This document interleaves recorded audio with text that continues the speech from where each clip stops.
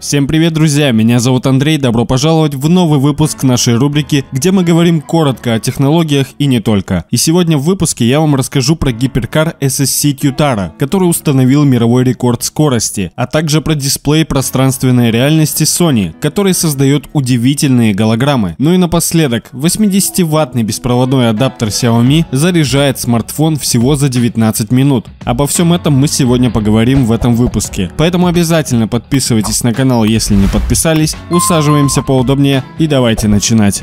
Американский гиперкар смог разогнаться до 533 км в час на пустом шоссе в штате Невада. Рекордную попытку предприняли в штате Невада на перекрытом 11-километровом отрезке трассы State Road 160 между городами Парамп и Лас-Вегас. Автомобиль под управлением британского гонщика Оливера Уэба после первого старта мог разогнаться до 484 км в час, а в обратном направлении до 533 км в час. В итоговом протоколе в соответствии с требованиями книги рекордов Гиннесса была зафиксирована средняя скорость автомобиля, которая составила 508 км в час. Согласно правилам, в зачет идет средний показатель скорости, достигнутый после двух стартов с противоположных сторон, поскольку условия во время заездов в разных направлениях могли значительно отличаться друг от друга. На максимальную скорость может влиять, например, наклон дороги, попутный ветер и другие критерии. Гиперкар SSC Tutara был разработан фирмой Shelby Supercars, основанной Джерардом Говардом Шелби в 1999 году. Купе массой всего 1250 кг оснащено двигателем V8 с объемом 5,9 литров с двумя турбинами, который при работе на биоэтаноле развивает 1750 лошадиных сил, а на обычном бензине с октановым числом 92 1350 лошадиных сил. Первую сотню гиперкар набирает за 2,5 секунды, а заявленная максимальная скорость составляет 502 км в час. Двигаемся дальше. Очередная новинка от Sony Sony – дисплей пространственной реальности, впервые представленный на CES 2020 как IE Sensing Light Field Display. Его нынешнее название SR Display. Правда, далеко не всем любителям голографического контента такое устройство будет по карману. Его цена 5000 долларов. SR Display состоит из 15,6 дюймового 4К ЖК дисплея, который дополняет высокоскоростной видеодатчик, отслеживающий движение глаз и очень тонкая, точно настроенная микрооптическая линза, которая которая обеспечивает чрезвычайно высокую четкость изображения. Она также распределяет экран между правым и левым глазами, формируя стереокартинку из двух отдельных 2К изображений. К сожалению, создаваемые SR дисплей голограммы ограничены размерами 13 на 6 на 5 дюймов. Более крупные объекты будут выглядеть обрезанными по краям. Если сильно приблизиться или отклониться от экрана в любую сторону, камера не сможет отслеживать движение глаз пользователя и 3D эффекта вы попросту не увидите. При этом этом видеть голографическое изображение может только один человек. Чтобы воспользоваться SR-дисплей, потребуется мощный ПК для обработки сложного алгоритма формирования голографического изображения в режиме реального времени. Как сообщает Sony, интерес к SR-дисплей уже проявили Volkswagen и представители киноиндустрии, в частности Ghost Corps, а также одна из крупнейших в мире архитектурных фирм. Устройство поступит в продажу в ноябре. И давайте перейдем к последней новости. Один из крупнейших в мире производителей производителей смартфонов китайская Xiaomi Corporation сообщила о работе по созданию новых беспроводных зарядных устройств. На очереди 80-ваттная модель, которая способна зарядить батарею емкостью 4000 мАч на 50% за 8 минут и полностью за 19. Предыдущее достижение Xiaomi – зарядное устройство мощностью 50 Вт для смартфона Mi 10 Ultra, которое полностью заряжает его 4500 мАч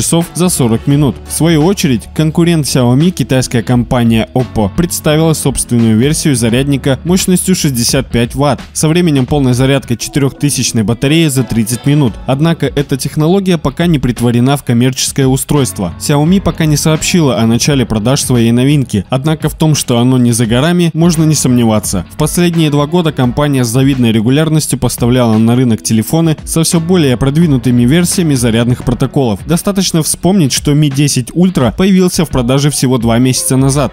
На этом я буду заканчивать, дорогие друзья. Спасибо, что досмотрели этот выпуск до конца. Я рекомендую вам подписаться на этот канал, если вы до сих пор не подписались, поставить колокольчик, чтобы не пропустить следующий выпуск, ну и обязательно поставить этому видео лайк. Также, друзья, обязательно подписывайтесь на все наши полезные каналы, все ссылки будут в описании. Ну а я желаю успехов вам и вашим близким. Спасибо еще раз за просмотр. До новых встреч!